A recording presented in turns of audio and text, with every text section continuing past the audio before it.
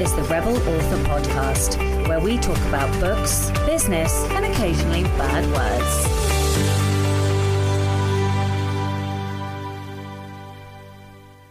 Hello, Rebels, and welcome to episode 135 of the Rebel Author Podcast. Today, I'm talking to, well, me. And this is a special solo show reflecting on what I've learned having finished my third full year of working for myself and writing full time. So, yeah, I thought I would do a solo show this week. But first, to last week's question, which was how do you plan? Is it by tax year, calendar year, quarter, or something else? And Ian Worrall said, I try to set goals for the year and then for 100 day increments, then weekly and daily. 100 day increments, interesting. Edwin Downman said, I'm supposed to plan. Why doesn't anyone ever tell me these things sooner? In truth, I don't plan, but uh, I do what I can as the situation dictates. I'm better with uh, my systems, but overall, my writing life remains a I'll get there when I arrive. I love that. So, this week's question is in the vein of the show. So, the question is What is the biggest lesson that you've learned on your journey so far? The book recommendation uh, of the week this week don't normally do this, but it's my own fiction book. In fact, I don't think I've ever done this on this show. Uh, but Keepers is currently free because I'm doing an experiment. I'm doing, uh, I'm seeing what free does. I am, I've had a BookBub. I have been uh, booking and running other newsletter promos. So I am trying to see what effect that has, what the read through is like now that the series is complete. So Keepers is young adult fantasy. If you like stories with soulmates, forbidden love, lovers, murders and mysteries, uh, glamorous balls, ride or die friend squads, school rivals, and loads of magic, then this book is for you. And I will put links in the show notes to that. And don't forget, it's free not going to do a personal update this week, uh, other than to say thank you so much to my co host Daniel Willcocks uh, for being an amazing co host for the last two years. We have now recorded the final episode of Next Level Authors, and that will air on Tuesday, the 26th. Uh, it is for a Thursday, the 21st, as I record this. So, yeah, thank you. It has been a blast. I adore you, and may we both go on to achieve fantastic things. Um, so that's it. No personal update this week because you're going to hear from me all freaking episode. So, Rebel of the Week this week is Ian Worrall. Ian says, This story involves one of my brother's cats. When he and his wife first got a house, they had three cats and got two adult Scottish Terriers. One of the adult cats, being an older one, established herself as the alpha pet. Whenever the dogs or other cats went anywhere near him, oh, sorry, it's a him, they would get a smack in the head. I love cats so much. The funniest part to this story is uh, that one time the male Scottish Terrier was across the street in a growling match with a German Shepherd. Oh my goodness me. The cat that beat on the dogs and uh, beat on the dogs and the other cats, ran across the street and attacked the German Shepherd like he was doing an older sibling type thing. That's my dog. I'm the only one who's allowed to beat him up. Oh my god, that is fantastic. And I bet the fucking cat won too. Oh, this is why I love cats, guys. This is why I love cats. Oh, oh that has made my day. If you would like to be a Rebel of the Week, or if your pet is a Rebel of the Week, then please do send in your story. It can be any kind of rebellion something big, something small, something in between. You can email your Rebel story to Becca on the Re- uh, what? Let me give you the correct email address rebelauthorpodcast at gmail.com. Thank you to returning patron Bair Klos and to HB Lyne who upped her pledge as well. Don't forget, for those of you who join at the $5 level, you get access to the Slack community, uh, and it is a thriving Slack community as well. So uh, we are running a quarterly challenge, and uh, there is a lot of chitter chatter in the Slack group about the quarterly challenge, but I am trying to make sure that I put things up uh, on Patreon, and of course, you've got access to the uh, spreadsheet where you can track everything that you're doing and that they've got information on all the sprints and everything that are going on for members in the Rebel community. So if you'd like to support the show and get early access to all of the episodes as well as bonus content, you can from as little as $2 a month by visiting patreon.com forward slash Sacha Black. All right, that is it from me this week. I'm going to get on with the episode. which is six lessons from three years of writing full time. I can't quite get over the fact that we are here again.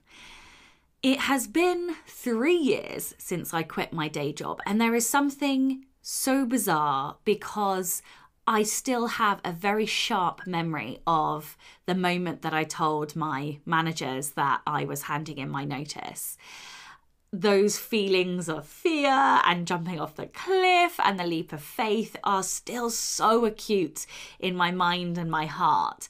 And to think that I am now three years out from that is a very strange sensation.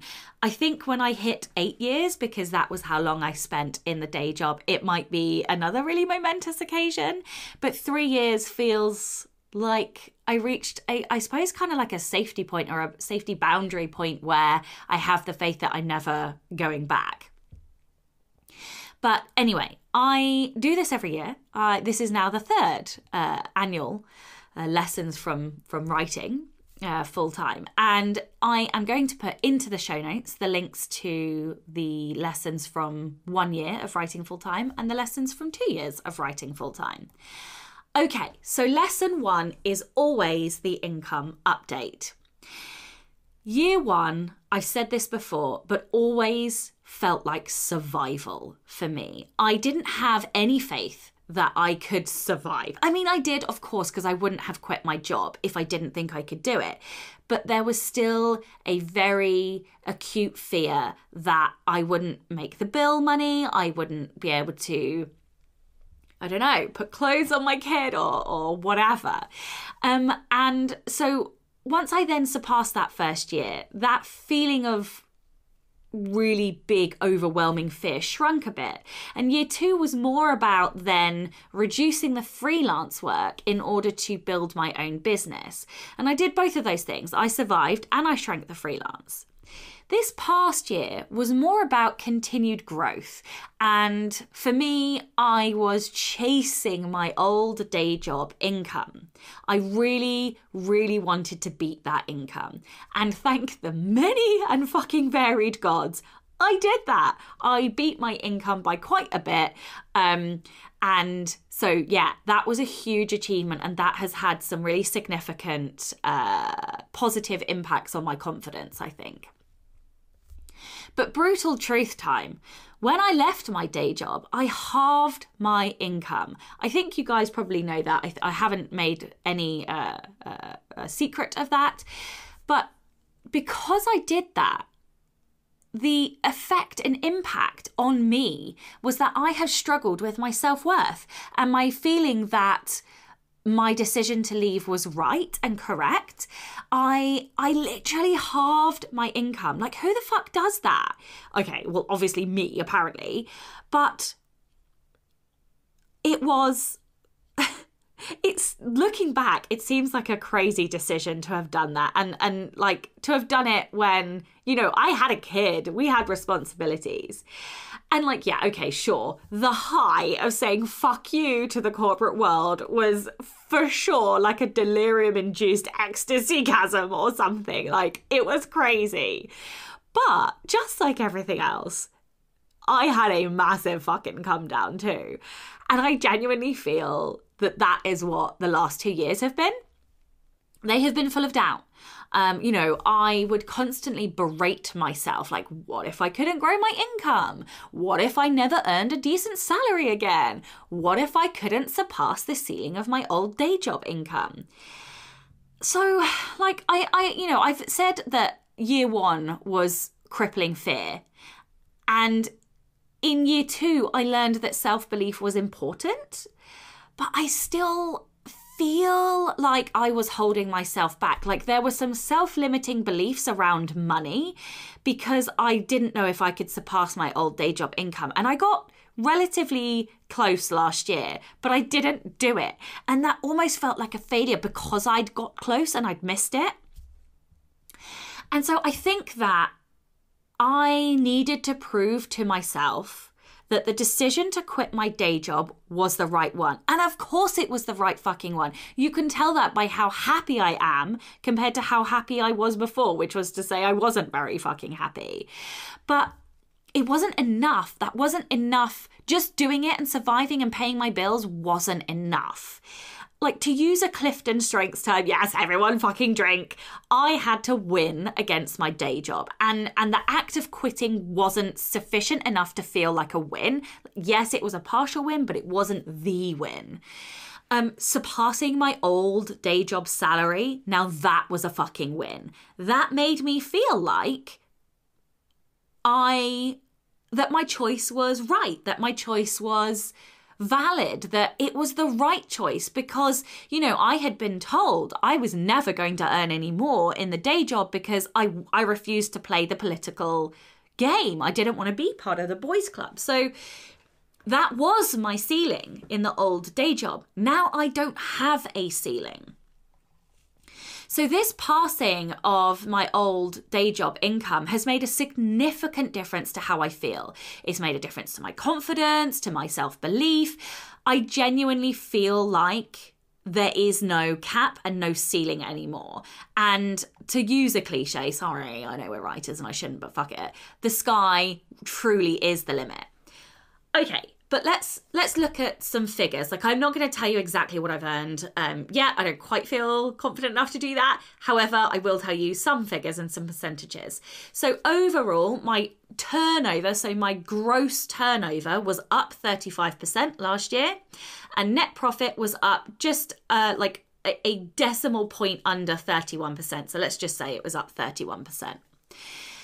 The main difference between uh, the reason why there was a difference between turnover and net profit is because I increased my outsourcing spend- expenditure and I also increased uh, the amount that I invested in advertising. I actually expect the outsourcing expenditure to continue either as it is at the amount that it is, or um, hopefully increase because the more I spend on outsourcing, the less I have to do, the more I can work on the important stuff. Um, and so yeah i, I probably expect that to uh, uh, continue or stay the same or increase.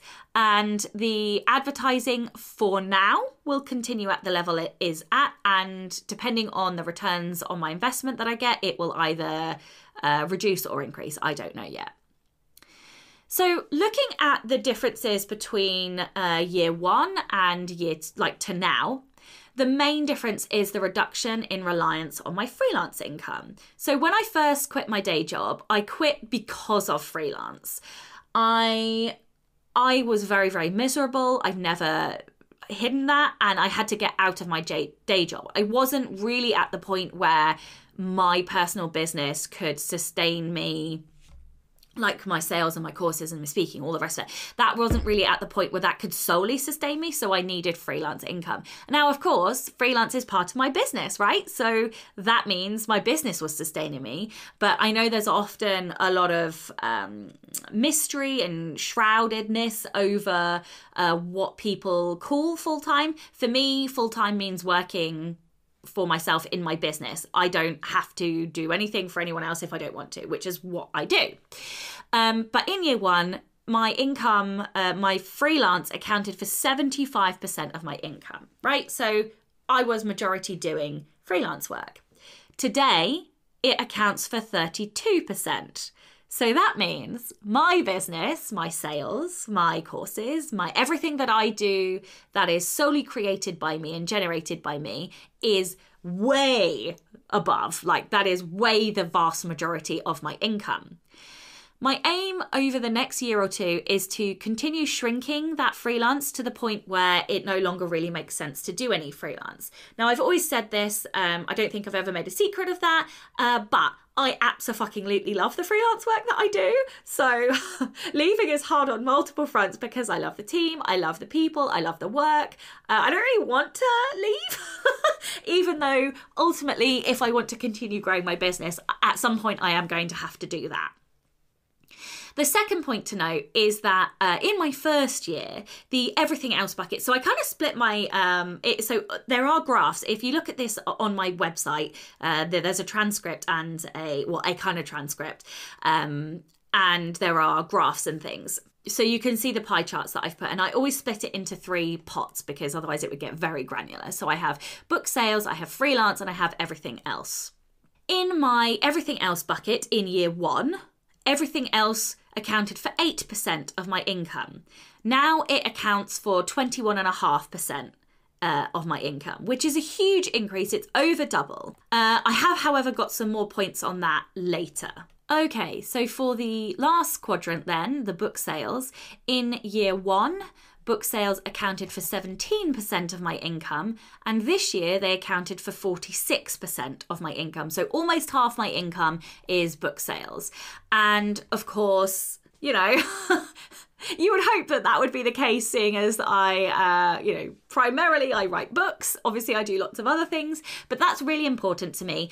I I don't know how how high I want that percentage to go.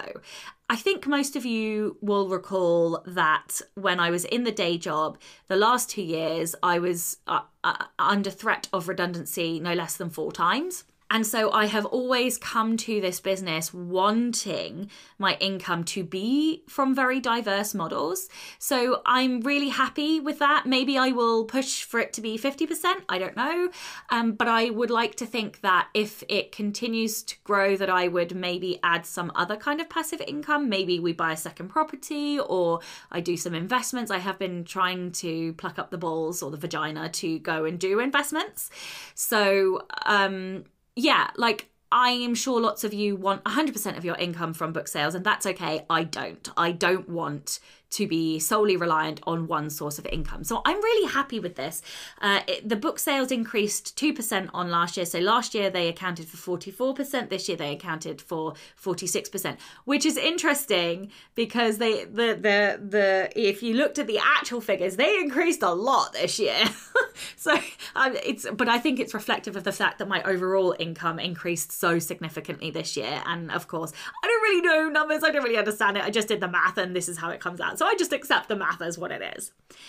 Um, so I wanted to, I think I told you my main income streams last year, so I'm going to tell you again, and I'm going to tell you in the order of the size. So book sales, as I said, accounted for 46% of my income.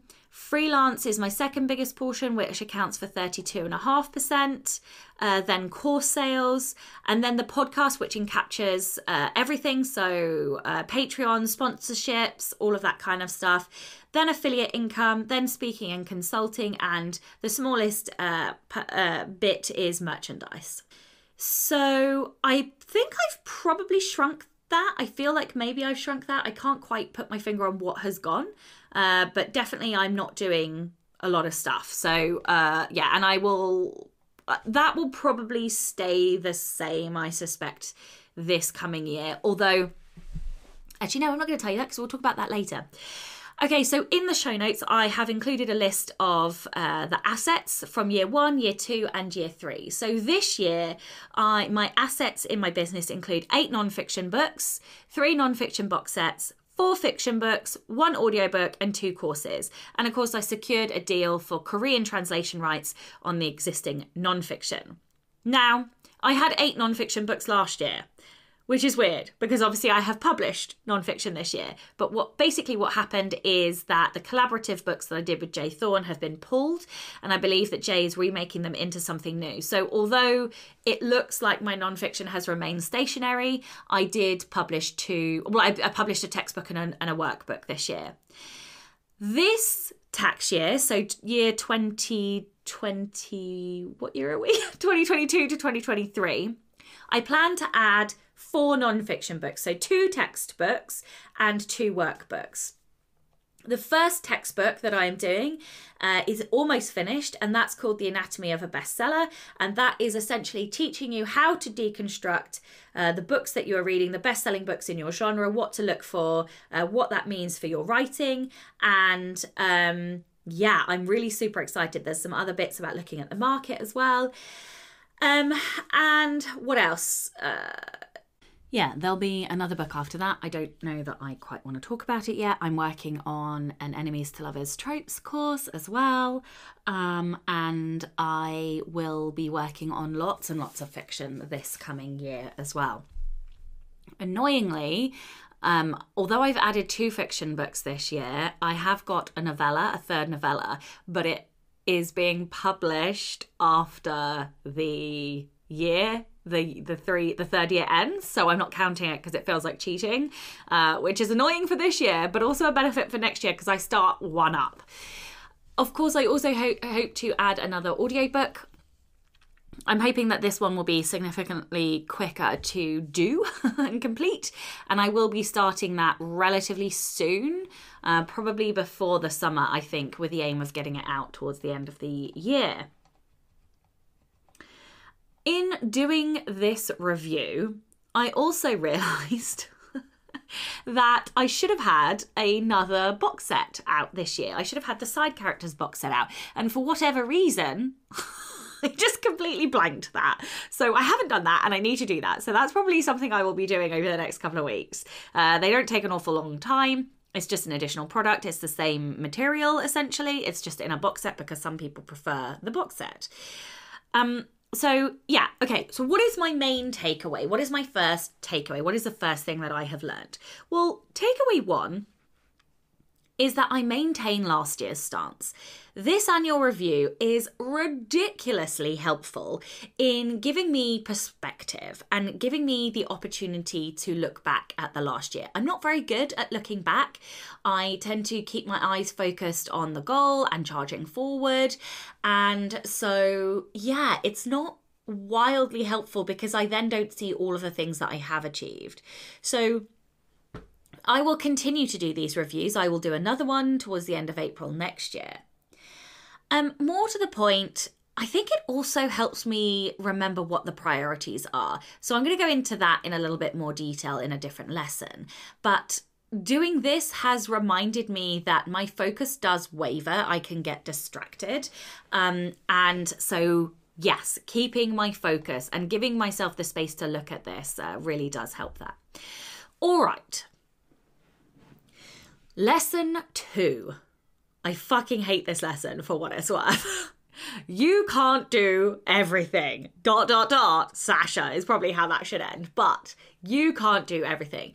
It physically pains me to say that, that to you. And I'm not, like, maybe more specifically, it's not that I'm saying you can't do everything, but I can't do everything.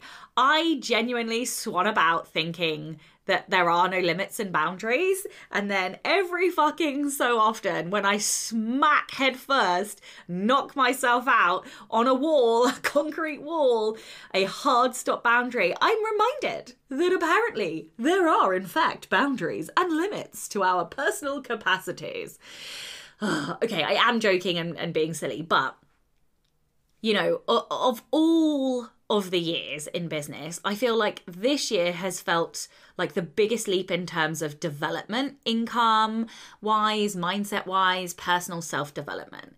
And in a way, it's been a maturing of sorts as well, and kind of empowering, um, settling into the business and knowing that I really can do it. I can, but also realizing that if I want to and if I want to make money, then I have got to fucking focus on the right things. Which leads me to my point.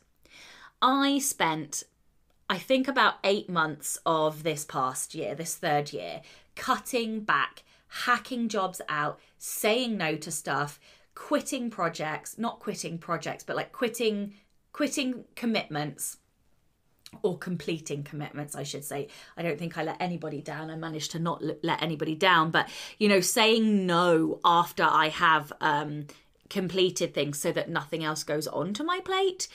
Um, and despite, you know, I, despite, like, what am I trying to say here? I, I still feel like I added a lot of stuff. I created a lot of assets last year, even though I was finding myself wildly overwhelmed and doing too much.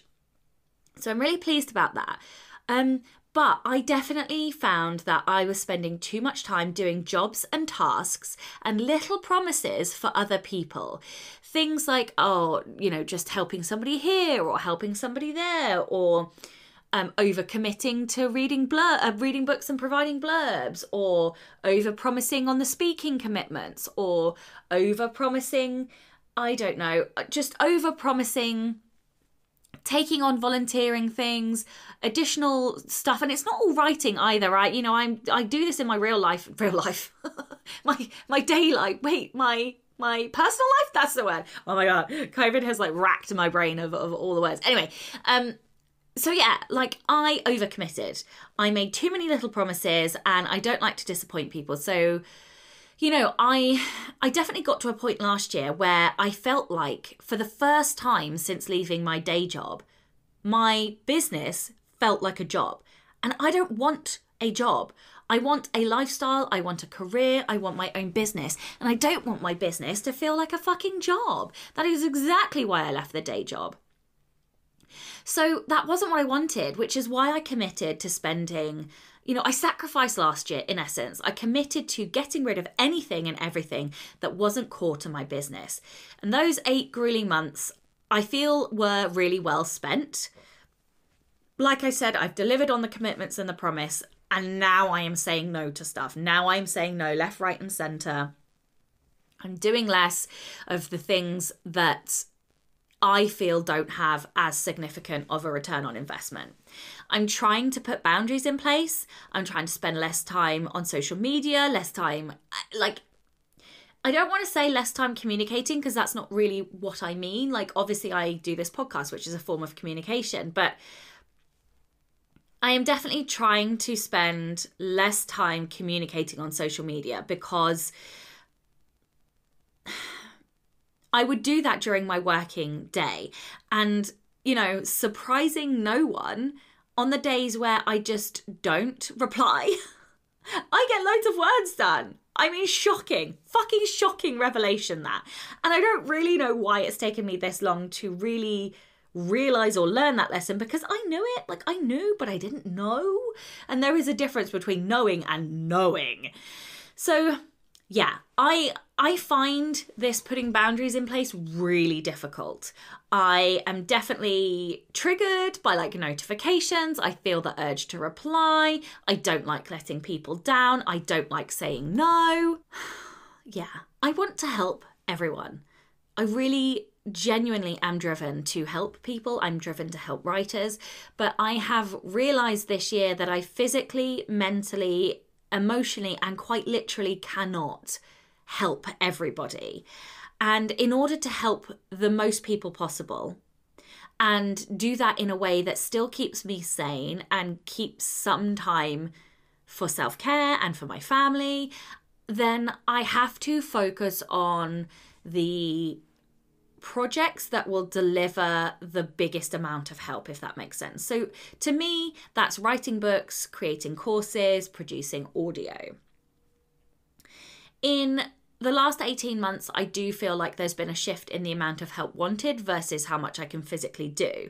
And that has been made way more difficult by the pandemic and the fact that I do have a child who's at an age where he still needs me, and we've also had some difficulties um, that he has needed extra time and emotional uh, headspace for, and that has kind of caused me to shift and and and it's pushed pushed me mentally to a pain point because I of course will always prioritize my son and my wife over everything else, but there is a very large, significant part of me, the core of me, is an achiever and is competitive.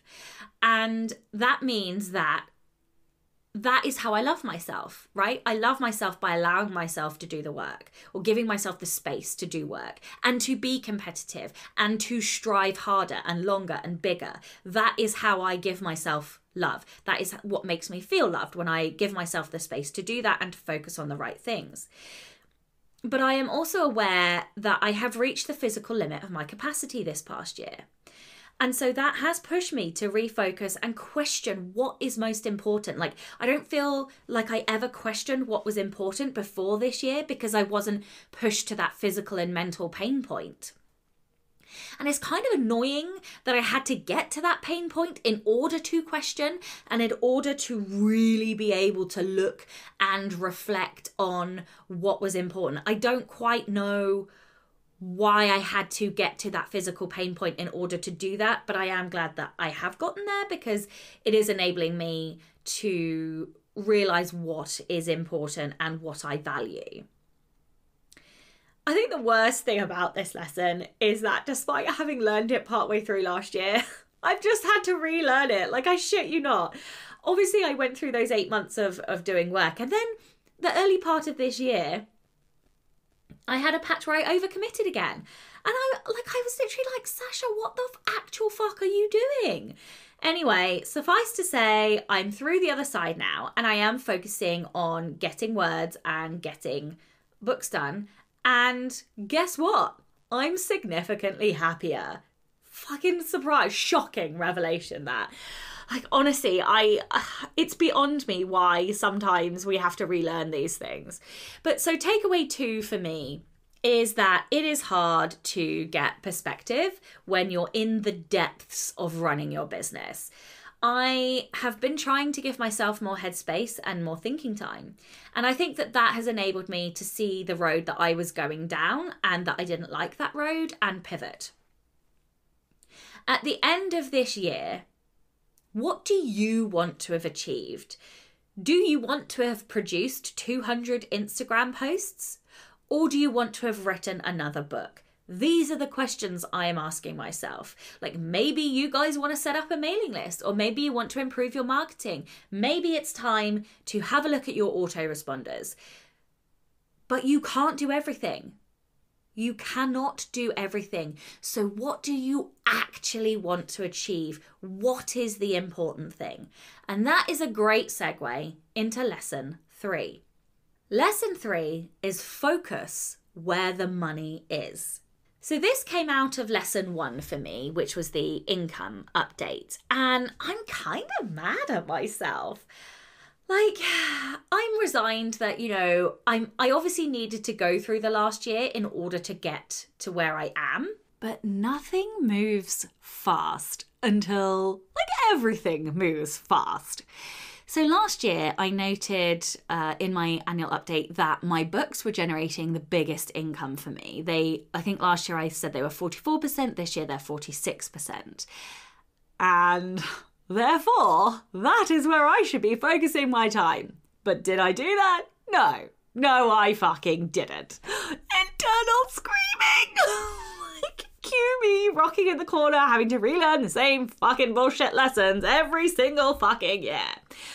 Look, okay, I did make some headway towards it because in order to make headway, I had to clear the decks, right? And we've already talked about that, the fact that I did that. So, no, I didn't get to focus on it, but I did do the work in order to for me to spend time focusing on it. So I feel huh, like even though I didn't run through the finishing line, I did let's say I've hit the wall, maybe like I hit mile 18 in a marathon, like I did most of the work. So that's good. But basically, for the love of literary fucking gods, I have got to focus on the right things. I have got to spend the vast majority of my time on the things that make me the most money, which is books and courses. If you want to earn more money, then you focus on the highest earners, right? Rather than spending 60 to 70% on my time on the everything else bucket, which only brings in 21% or whatever it was of my income, like that is illogical. It is illogical to spend 60 to 70% of my time on the thing that brings in less than a quarter of my income. Why am I doing that? Like, stop it. So I am. I am stopping it. My good friend Katie uh, Forrest sent me a kind of plaque that says 2022, the year of no, and it is attached to my whiteboard. It is really precious to me. I love it so much because it is a daily reminder that I have permission to say no. So, yes, I am. I have learned that I need to spend more time on the heavy earners so that I can expect to earn more overall. And therefore, that is what I'm going to be focusing my time on this year as well. Um, I've got plans for courses. Like I've mentioned, I've already started the Enemies to Lovers course. And um, yeah, I am going to prioritize word words. The other thing that I have to give myself permission to do and this is really important, and I feel like this is a lesson that I've had to continually fucking learn as well, is that I need permission to do the work that enables me to write that isn't physical word writing. So, for example, I need permission to outline, to input and read, to do mood boards, to do research, to do brainstorming. I need to give myself permission to proofread my books during the day. Like, it literally took for me to get COVID um, and to be put on my ass for me to go, you know, I just don't have the energy to work all day and then proof in the evening. Because you know what that equates to? That equates to working all day and then working all fucking night too. So go figure. Go figure why I didn't count that as like working all fucking day, 20 fucking four hours a day. But it is. Anyway, so in doing that proofing um on I can't remember it was Monday last week I think now I really was like oh like this is actually working. How did I not think that was working? I don't know. But it was working. So and it felt really good to be doing that in the middle of the day. I felt like I like that I was a publisher because that's what I am so, yeah, I don't really know why I find it so excruciatingly difficult to give myself the time to do this type of work, but I really need to get a fucking grip because it is work. And things like outlining and inputting and research are the foundations that will enable me to write faster, right? Because I'm trying to squeeze those bits of work in the in between hours, in the the 10 minutes here, the 15 minutes there and it's not enough. I'm just adding loads of pressure on myself when, you know, I have the power. Or maybe I have the power now that I've cleared the decks, right? So I'm coming at this from a privileged point of view because maybe I wasn't giving myself that time because I actually didn't really have the fucking time. Um, but you have to make the time, right?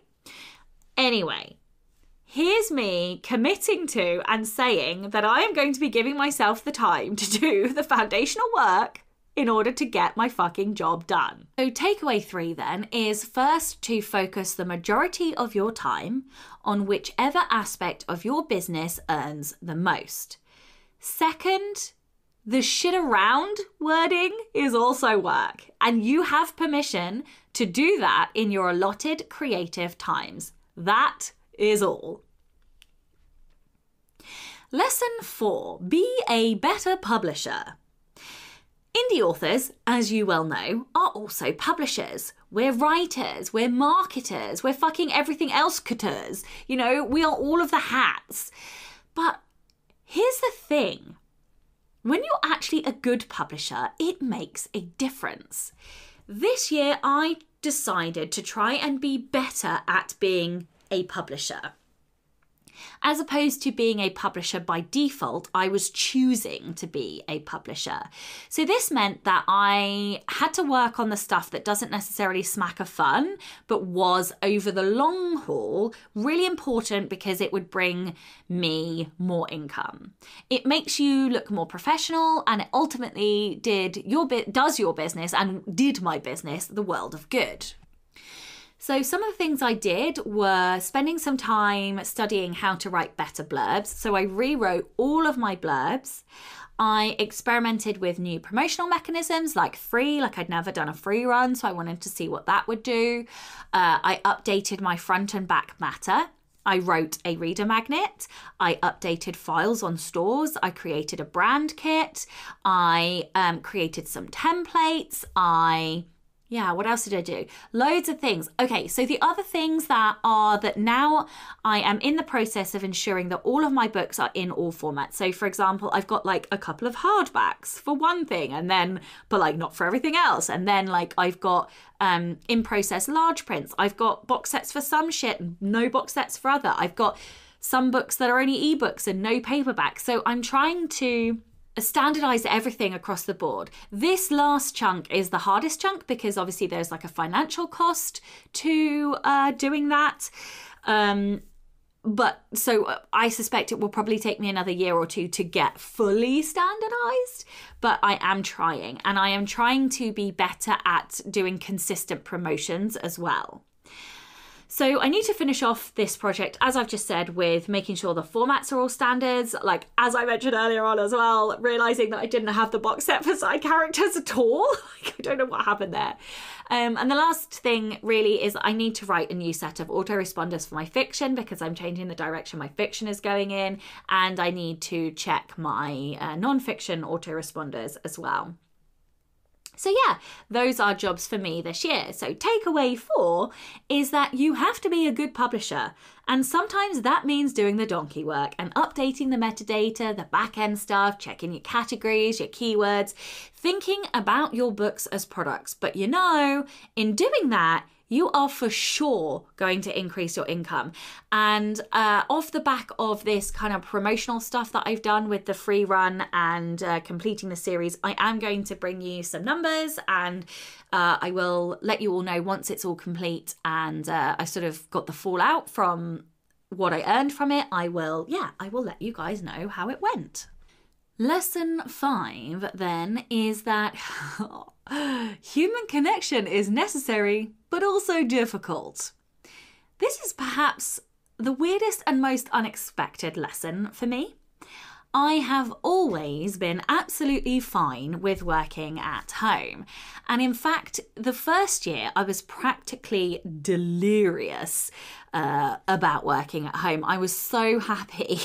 I was like, fuck people, fuck being in a team, fuck this, fuck that, fuck everything.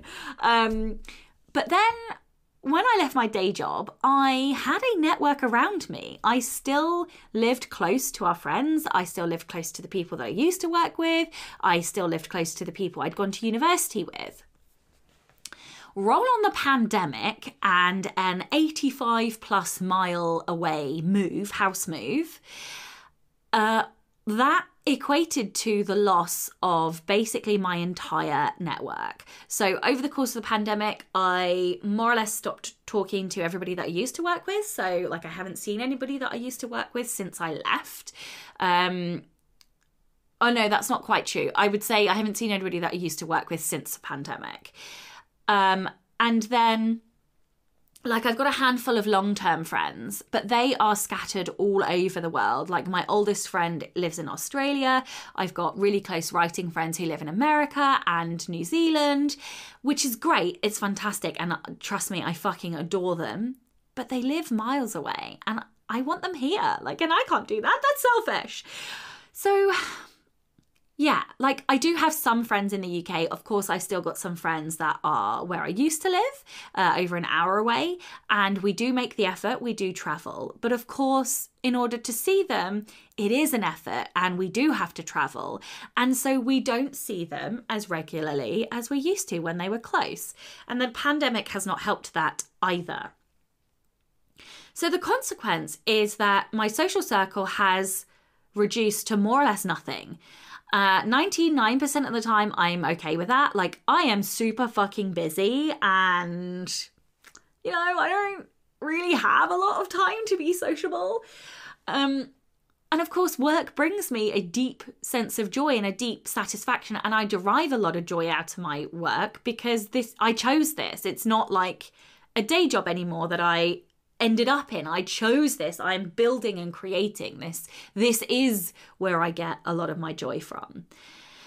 Um, you know, and of course, I do have the friends who, uh, the couple of friends that I spend, vo- you know, all day, every day voice memo. Not all day, every day. That's complete lie because we all focus and we are badass like work machines. But you know, I do. I voice memo a couple of people um, on a on the regular basis, and that really makes a difference. Like that has saved me, I think, through the pandemic, and I would be lost without them. So that like that lifeline means everything to me.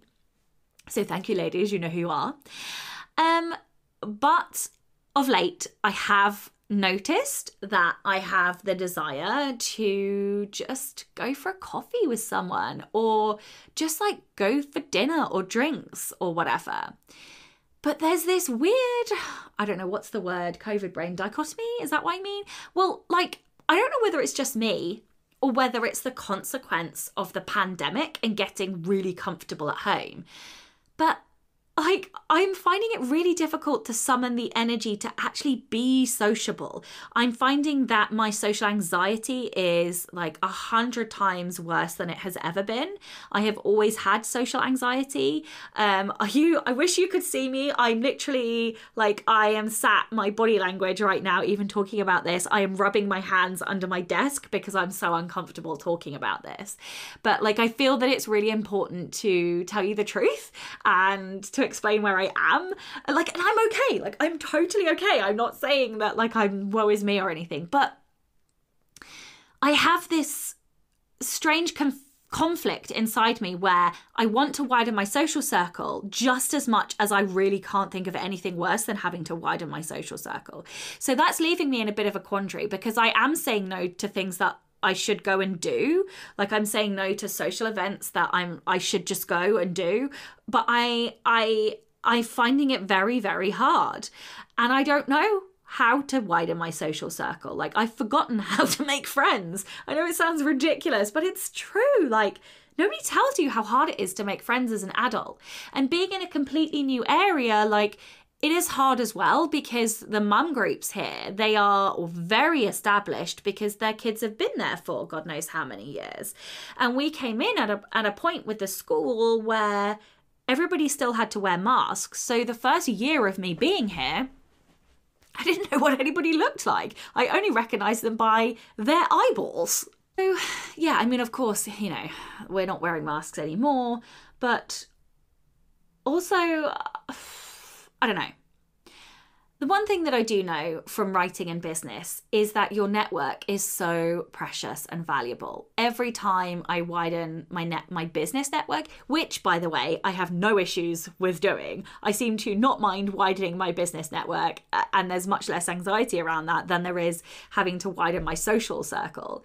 Um it, it, it uh, you know, your network is so important. So I know that I need to do something about this because I don't know. Like I'm just so fucking awkward. I'm shy to small talk and I don't really I don't want to do small talk, but also nobody wants to talk about writing unless you're in writing. And I'm not saying that's the only thing I want to talk about, but I do find it difficult when the only conversation is like reality TV people or like famous people. I'm just like, I don't give a fuck about any of that. So I don't know how to have those conversations. And that's how you get to the deeper conversations. So yeah, look, I, I'm fine, but I'm also aware that working for yourself when you work at home and not in a co working space can really isolate you.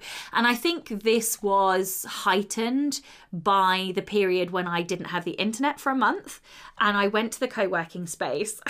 and I remember texting my wife and being like, babe, someone just smiled at me. And she was like, I don't I don't get it. Like, what is okay? Like, okay. And I'm like, what do you mean, okay? Someone smiled at me. And she was just like, I don't understand your point. Like, what are you going on about, Sacha?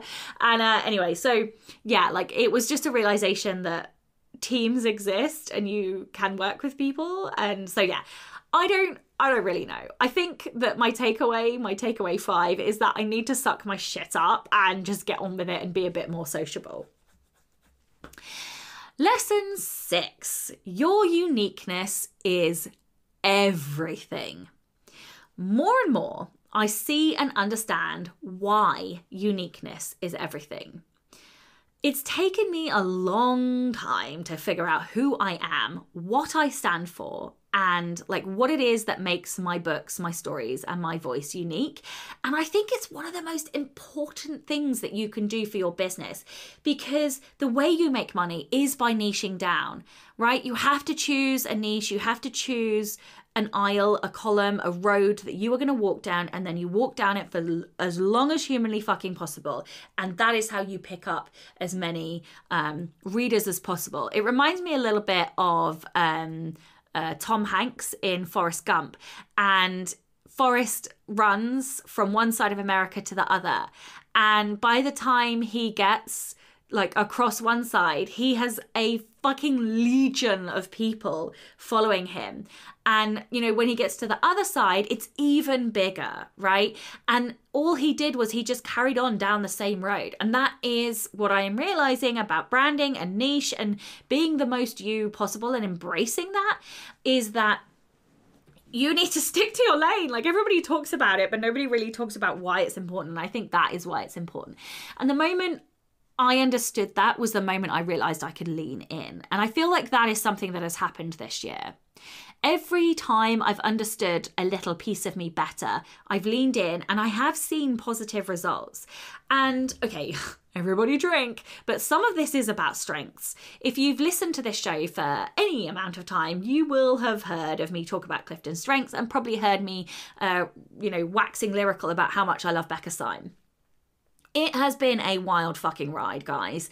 I I have a lot of what are called influencing strengths, and it just so happens that those are the most often misunderstood strengths. And of course, the foremost being competition, which, as you know, is my number one strength.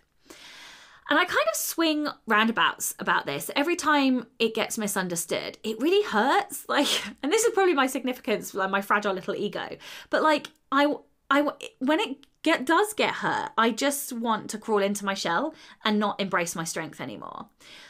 But that's bad because every time I'm leaning into my strength, I feel like I'm embracing what is my superpower. And that is a good thing because it's enabling me to push my business as far as I can. Every time I realize something about a natural talent or a natural um, a, a, thing that i'm naturally good at if i lean into it i work faster i work better.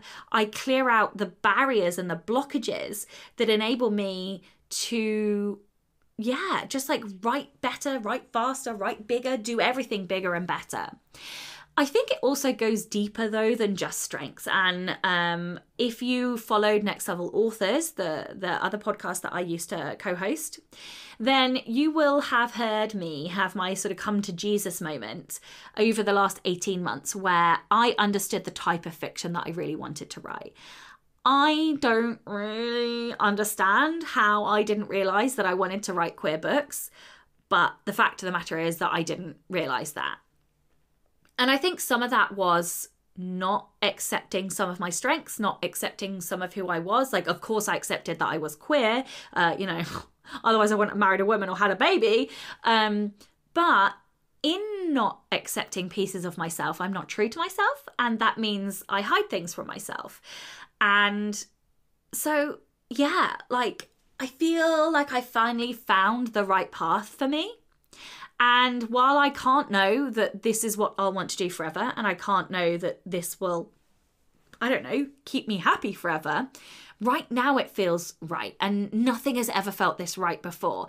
And that feels good. That that for me feels like it can only spell good things for the future. And life is nothing if not a journey, right? I I I also think that this has had an impact in other ways for me. So, like, in accepting those parts of me, I'm also finally starting to realize that after however many books I've fucking written, I actually have a consistent writing process. I know, I fucking know, it's shocking. I am shocked by this revelation because I have spent definitely the last year searching for an explanation or something that was kind of like a written process, something in stone um, that I could point to and say, hey, that's me, that's what I do. This is me who fucking hates boxes as well, people. Can we just like laugh at the irony of this? But um, you know, I think it's taken me 12 to 15 books to really realize what my writing writing process is. But in accepting it, I'm speeding up. Like rather than fighting the methods that I just need to employ in order to get to the end of the draft, I'm just fucking doing it. And guess what? I'm writing faster. It sounds insane. Like saying this, it sounds ridiculous. Like, of course, duh. You just work the way you need to. Like, and then you get the books done. But do you? But do any of us, do any of us really accept that it is the way that it is? No, I don't fucking think that any of us do. It's hard accepting that we are the way that we are. And like, despite being in this industry for God knows how long, I definitely was still subscribing to like what I thought, in air quotes, should be my process. Well, fuck that. My first draft is officially called a chaos draft. And knowing that and like embracing that is just making everything so much easier. The other realization that I've had, and this is so fucking stupid, I just can't believe it's taken me this long to work it out. I write fiction and non-fiction in exactly the same way. Like it's the literal same process. Oh, Sacha, you dear sweet naive child. So yeah, I don't know. Where is that leaving me? It is leaving me so freaking excited to see where the rest of this year is going to go, to see what I am capable of now that I know these things, that I'm embracing a process that works for me. So, takeaway six you, my dear listener, are beautiful. Embrace you. Fuck what they say. Fuck what anyone says. Find what works for you. Find your thang, your angle, your hook, the thing that makes you uniquely you.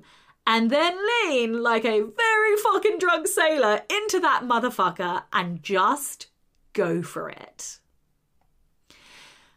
I have one last thought for you. And this is the same thought that I always have every year, and it's the same thought that I end with. No matter what happens, this is better. I say this every year, and I hope that this is an on running like mantra that I say for the rest of my days. Because if it is, then I've done my job. I created the life that I wanted. I keep two photos. The first is a post it that I carried and I signed it and I put it in my wallet and I carried it forever, or what felt like forever. Every day when I went to the coffee queue for, like, let's be honest, the fourth time just because I needed to get out of the office again, I would see the post it as I went to pay for my coffee. And it was a constant reminder. The post it said, I will be writing full time in 2020.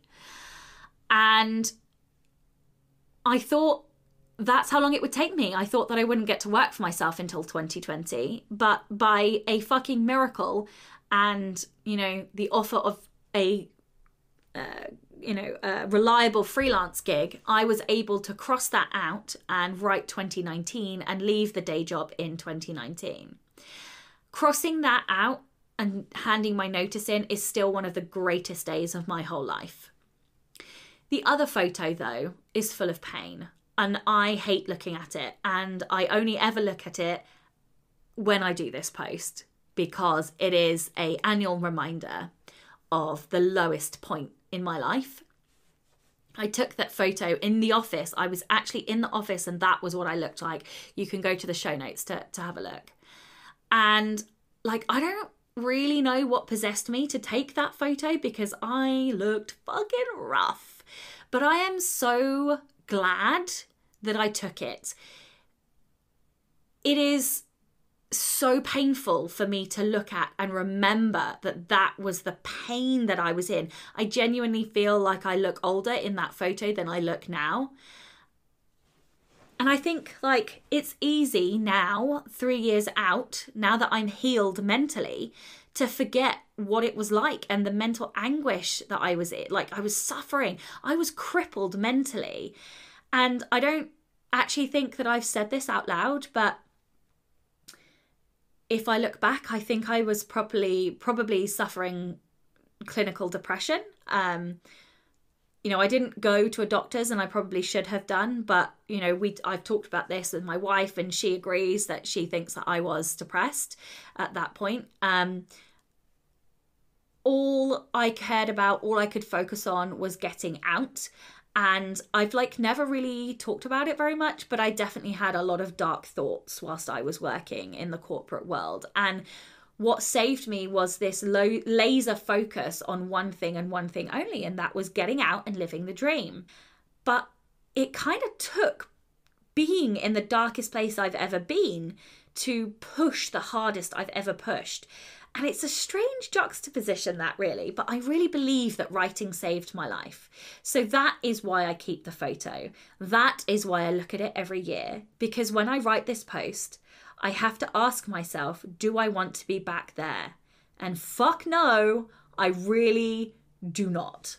but like this life, this fucking vagina busting, exhaustion inducing, utterly mesmerizing, awe inspiring, creatively fulfilled life is so much better. Yes, I work more hours than I have ever worked in my entire life. Yes, I have to make constant sacrifices, but you know what? I will never go back. Not ever. I choose me. I choose this life because no matter what, this life is better. And so I just want to say to you, like, if you are in a dark place or if you are in a day job and you are desperate to get out, like you can do it. You can do it. I am just a regular, everyday girl, and I fought hard. I had a laser focus and I fought hard and and I did it and I got out and if I can get out you can get out too. You have to find what it is that you are good at. Lean into it. Write all of the fucking words. Learn the marketing. I know it's a lot, but I believe that you guys can do it too. And for those who are already full-time, you fucking did it. Like everybody, let's go have some gin. Uh and yeah, like Take the time to celebrate those wins. Take the time to look back on your last year. And I would love to know, like, what lesson have you learned over the last year? What lesson have you learned since the beginning of your writing journey? What have you learned if you are full time? What have you learned in the X number of years that you have been full time? And yeah, that is where I'm going to leave you. I hope that you guys have a wonderful writing week. I hope that you found this useful. I hope that you found my reflections interesting. And I will see you next week. Don't forget to tune in and subscribe on your podcatcher. And when you have a moment, please leave a review.